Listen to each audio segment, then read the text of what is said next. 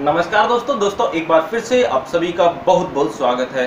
आज हम आपको इस वीडियो के माध्यम से नेटवर्क मार्केटिंग के कुछ ऐसी जानकारी आपको बताने वाले हैं कि आप जिस व्यक्ति को चाहो, इन टिप्स का इस्तेमाल कर कर आप उस व्यक्ति को अपनी कंपनी के अंदर बहुत ही आसानी से जोड़ सकते हो। यानी कि हम कुछ गलतियाँ करते हैं और जिस गलतियों को अगर हम सुधार लें तो हम जिस भी व्यक्ति को चाहें, उस व्यक्ति को हमारे प्रोडक्ट सेल भी कर सकते हैं और उस व्यक्ति को हमारी टीम के अंदर शामिल कर कर हम उससे नए मेंबर की ज्वाइनिंग भी करवा सकते हैं। जी हाँ दोस्तों वीडियो काफ़ी इंटरेस्टिंग होने वाला है और आप सभी के लिए काफ़ी ज़्यादा फ़ायदेमंद साबित होने वाला है। तो आप सभी से अनुरोध है कि आप इस वीडियो को शुरू से लेकर लास्ट तक पूरा ज़रूर देखिएगा विदाउट स्किप के। तो चलिए दोस्तों, बिना समय कमाई शुरू करते हैं हमारा आज का वीडियो देखिए दोस्तों नेटवर्क मार्केटिंग एक ऐसा बिज़नेस हमारा बन चुका है जिसको हर किसी को करना अनिवार्य बन जाएगा। यानी कि अगर आपको अपने आवश्यकताएँ पूरी करनी है तो आपको नेटवर्क मार्केटिंग अपनानी ही पड़ेगी। आज नहीं तो कल कल नहीं तो एक साल के बाद आपको नेटवर्क मार्केटिंग ज्वाइन करनी ही पड़ेगी। अब बात करते हैं कि नेटवर्क मार्केटिंग हमने ज्वाइन कर लिया। तो हम नए मेंबर को ज्वाइन किस प्रकार से करें? हम जिसको प्लान बताएँ, वो हमारे साथ, हमारी कंपनी क्यों ज्वाइन करें और किस प्रकार की गलतियाँ हम न्यू मेंबर की ज्वाइनिंग के अंदर करते चले जाते हैं। अगर हम उन गलतियों को सुधार लें तो हम जिसको चाहें, उस व्यक्ति को हमारी कंपनी के साथ जोड़ सकते हैं। हमारी टीम के अंदर शामिल कर सकते हैं। तो सबसे पहली गलती हम करते हैं कि हम जिसको भी प्लान बताते हैं, उसको प्लान हम चाहे जहाँ पर भी बताने लग जाते हैं। तो यानी कि ये सबसे बड़ी मिस्टेक हम करते हैं प्लान आप जिस भी व्यक्ति को बताओ, उस व्यक्ति का फोकस आपके ऊपर होना चाहिए और आपका फोकस आई कंटेंट के साथ सामने वाले पर्सन के ऊपर होना चाहिए। यानी कि आप जो भी प्लान अपना कंपनी के बारे में बताओ, चाहे आप किसी भी कंपनी के साथ काम कर रहे हो, चाहे आप कोई भी प्रोडक्ट सेल कर रहे हो तो आप जिस भी व्यक्ति को जोड़ना चाहो तो उस व्यक्ति को प्लान अपना ऐसी जगह पर बताइए, जहाँ पर वो पूरा का पूरा फोकस आप पर और आपके बताए गए प्लान के ऊपर कर सके। काफ़ी सारे लोग एम कहीं पर भी रेलवे स्टेशन में प्लान बताने लग जाते हैं कई लोग बस स्टैंड पे प्लान बताने लग जाते हैं। कई लोग ऐसी जगह प्लान बताने लग जाते हैं जहाँ पर शोरगुल ज़्यादा होता है। तो आप ऐसी जगह पर अपनी प्लान की जानकारी सामने वाले व्यक्ति को मत दीजिए। अगर आपको सामने वाले व्यक्ति को अपनी टीम के साथ ज्वाइन करना है, अगर सामने वाले व्यक्ति को अपनी कंपनी के अंदर ज्वाइन कराना है तो आपको प्लान प्रेजेंटेशन करने के लिए या तो उसके घर पर जाना चाहिए या फिर उसको अपने घर पर इनवाइट करिए। जहाँ पर सबसे ज़्यादा आपको सफलता प्राप्त मिले। दूसरी अगर हम गलती की बात करें, दूसरी अगर हम बिल्कुल ट्रिक्स की बात करें तो यहाँ पर प्लान हमें बहुत ही शॉर्ट रूप में हमें बताना है। यानी कि हमारे प्लान को हमें लंबा नहीं खींचना। बिल्कुल शॉर्ट एंड स्वीट जानकारी आपको देनी है। यानी कि इस प्लान को ज्वाइन करने से हमें क्या बेनिफिट्स मिलेगा और कितनी लेवल तक हमें बेनिफिट्स मिलेगा और क्या क्या हम इससे प्राप्त कर सकते हैं। इस प्रकार से शॉर्ट एंड स्वीट जानकारी आपको बतानी है। पूरा का पूरा एक्सप्लेन आपको नहीं करना। अगर आप पूरा प्लान एक्सप्लेन करने के लिए बैठ गए तो सामने वाला बोर होने लग जाएगा और उसको किसी प्रकार का आपकी बात के अंदर कोई भी इंटरेस्ट नहीं रहेगा और बिल्कुल आपको वो आउटपुट देगा कि सोचकर बता देंगे तो बिल्कुल शॉर्ट एंड स्वीट आपको जानकारी देनी है।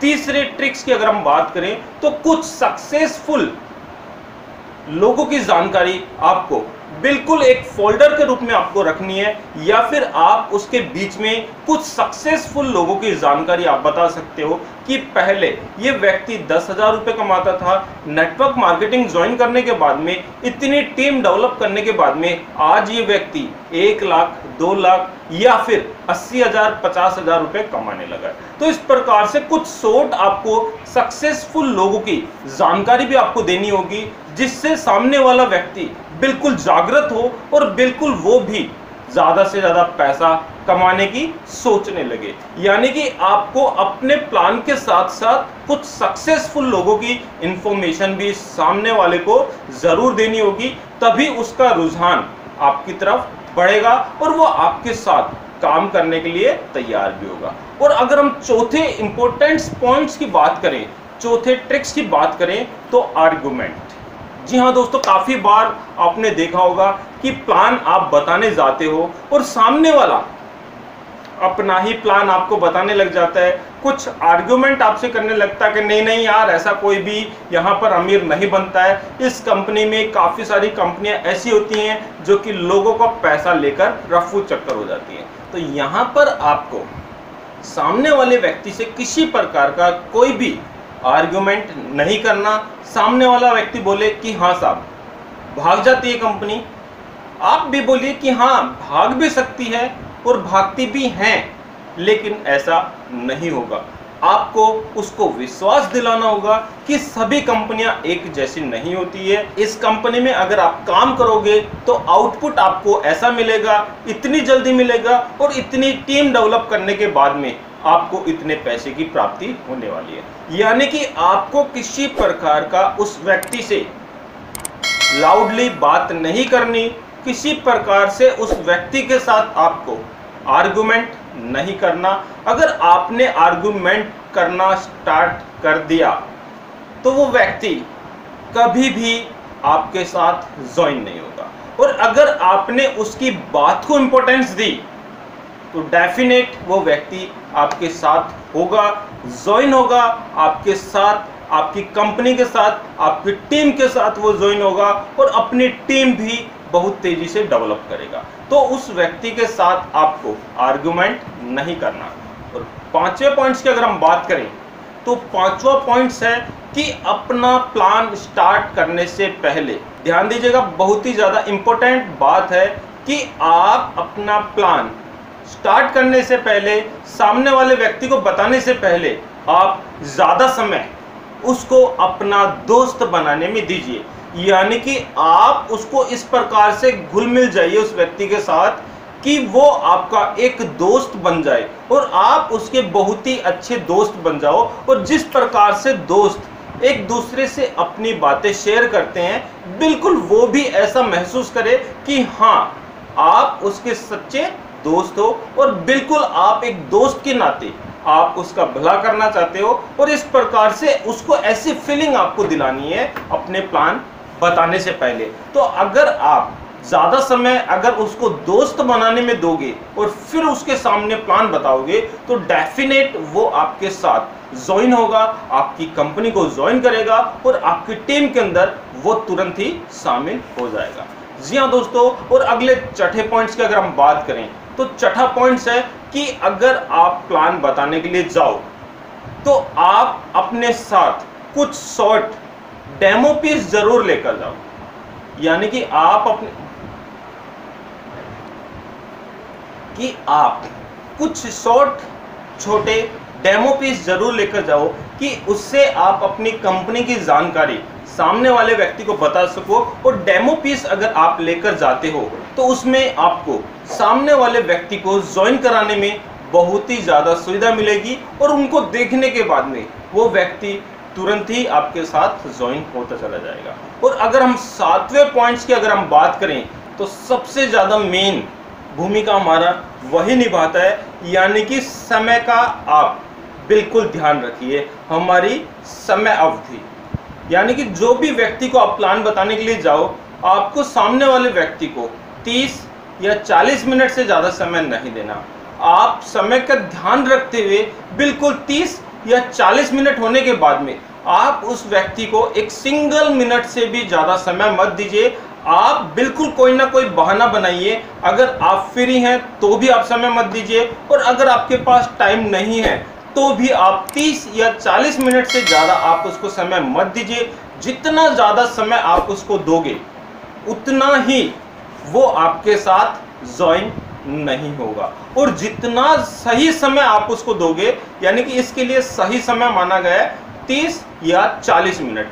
आप अगर 30 या 40 मिनट के अंदर वहाँ से निकलते हो और कोई ना कोई बहाना बनाते हो कि मुझे नया प्लान बताना है, मुझे दो लोगों को पार्सल देने के लिए जाना है या फिर उनको नया ज्वाइन कराना है तो उस प्रकार से अगर आप समय रहते हुए बिल्कुल वहाँ से अपना स्थान छोड़ दोगे तो डेफिनेट आपको एक्यूरेसी ज़्यादा मिलेगी और वो व्यक्ति आपके साथ ज्वाइन ज़रूर होगा। और अगर हम आठवें पॉइंट्स की अगर हम बात करें तो यहाँ पर आपको एक ऑफ़र का आप इस्तेमाल कर सकते हो। यानी कि जिस भी व्यक्ति को आप ज्वाइन करने के लिए जा रहे हो, जिस भी व्यक्ति को आप प्लान बताने के लिए जा रहे हो तो आप उस व्यक्ति को ऑफ़र कर सकते हो कि अगर आप आज हमारी कंपनी के साथ या फिर मेरी टीम के साथ ज्वाइन होते हो तो मेरे पास ऑलरेडी दो ज्वाइनिंग हैं जो कि आपके ज्वाइन होते ही मैं वो दोनों ज्वाइनिंग आपके नीचे डाउन में ज्वाइन करा दूँगा। तो यानी कि आपको उसको कुछ प्रलोभन देना होगा और फ्री ऑफ़र कर कर आप बहुत आसानी से उसको अपनी टीम के अंदर शामिल कर सकते हो और बिल्कुल कुछ ऐसी अर्जेंसी आपको बनानी होगी जिससे सामने वाला व्यक्ति तुरंत ही, यानी कि आज ही वो आपके साथ ज्वाइन हो जाए और कल तक उसको सोचने का भी समय ना मिले। और अगर उसको ज़्यादा जानकारी चाहिए तो बिल्कुल वो आपकी टीम के साथ, आपके सीनियर के साथ जूम मीटिंग के अंदर ज़्यादा से ज़्यादा जानकारी